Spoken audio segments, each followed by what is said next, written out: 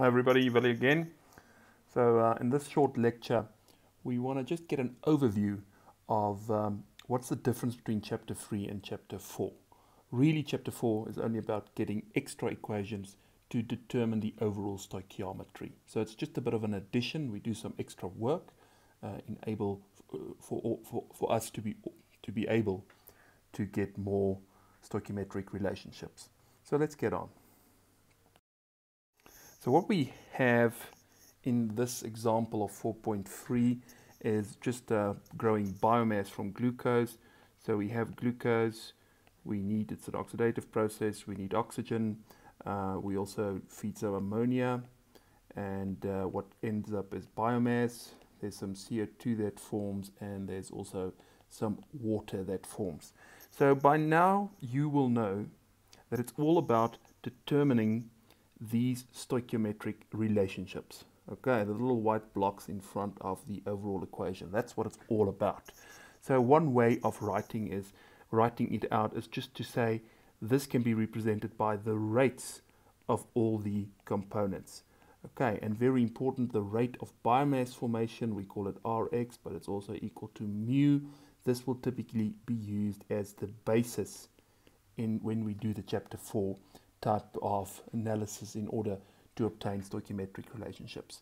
So to simplify um, this expression where we have six components, we can say we're not going to do a separate um, hydrogen and oxygen balance. So we're going to do a degree of reduction balance. And if we do a degree of reduction balance, we can get rid of water.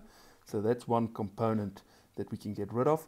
And then also we can skip the nitrogen balance because you will see because the um, degree of reduction of ammonia is zero, the only thing that the nitrogen balance do is to actually calculate the amount of ammonia that we use. So we can now skip this and just say we know what the degree of reduction of biomass is. The degree of reduction of biomass for the standard formula is 4.2. So um, we'll include the nitrogen in here and we won't calculate the ammonia. And this is only, we only do this to show how uh, the elemental balance of chapter 3 compares to the flux model of chapter 4. So I'm just going to get rid of this. So effectively, I am reducing my equation to the following. Okay, and uh, I just want to get rid of all these equations. Okay. So, so here I have my overall equation. Now in chapter 3, and um, before we go on, I just want to write this out. So in chapter 3 is really all about elemental balances. Um, and chapter 4 will be all about flux models. We call them flux models because we have a look at the internal distribution of the breakdown of glucose. So um, both these will end up with matrix formulations. It's all linear expressions.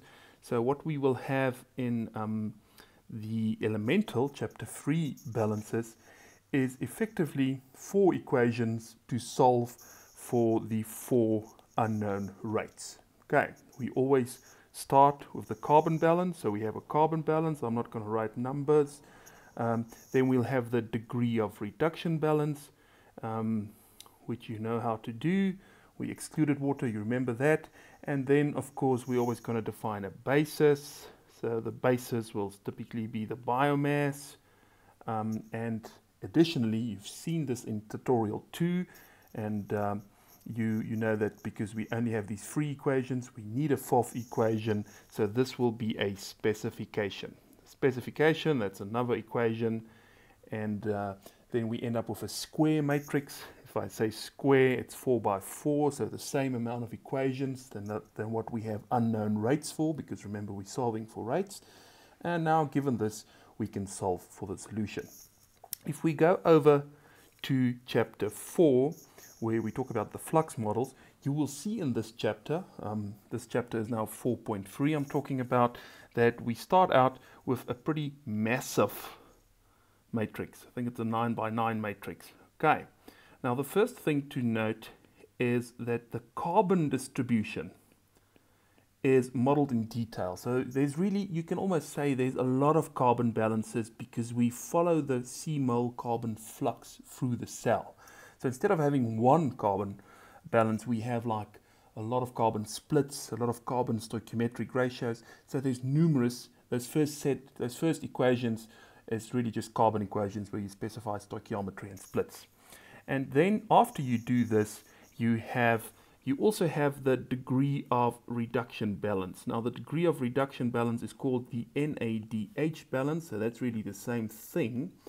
And um, this is really just to distribute electrons plucked off and electrons added in various pathways. Okay, interesting. You can try and do an overall, if I say overall, I'm talking just about the excretion products. You can try and do an overall degree of reduction balance, try and replace it by the NADH balance and see if you get the same thing. Okay, then we also have in our flux model the basis. Okay, we always define the basis. That will typically be that mu specification in the constant array. And then very important, we have the ATP balance, which is a new balance.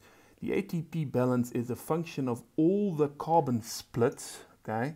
So unfortunately, ATP can't be defined just on excretion and entry um, components. And that's really the reason why we do this massive carbon breakdown um, is to relate the ATP sections in the carbon breakdown so that we have another fundamental equation. Okay, so just to give you some perspective, let's do some marking. So we can, for example, have a look at the carbon balance in the chapter 3 mode. That will be over here. While in the chapter 4 or the flux model mode, we will have numerous carbon balances.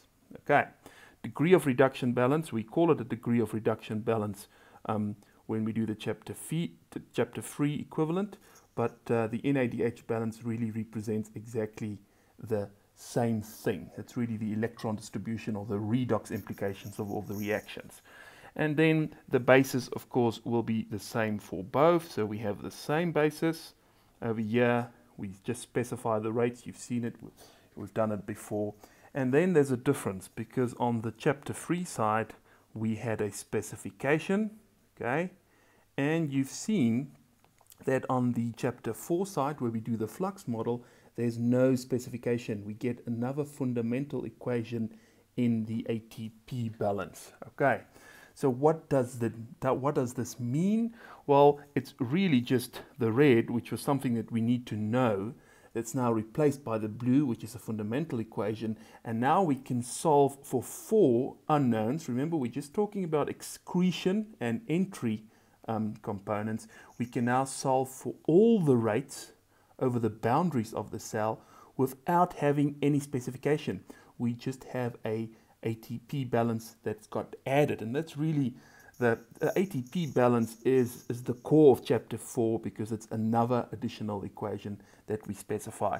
You will see if you have a look at the fermentative pathways in 4.2 that some of these stoichiometric relationships might be such that it also gives you more um, equations. Okay, if you have a close look at uh, um, chapter chapter 4.2, you will see that uh, um, that we actually ended up with three more equations in the flux model than what we did in the elemental balance. Okay, so that's really because of stoichiometries that are that were specified in the pathways that is not always known when you do the overall balance. Okay, so it's not just it's not necessarily just one you always get one that's the ATP balance but they especially for anaerobic systems there might be a lot of extra equations that you can also get because the extended carbon balances now contains stoichiometric relationships. Okay so what it boils down to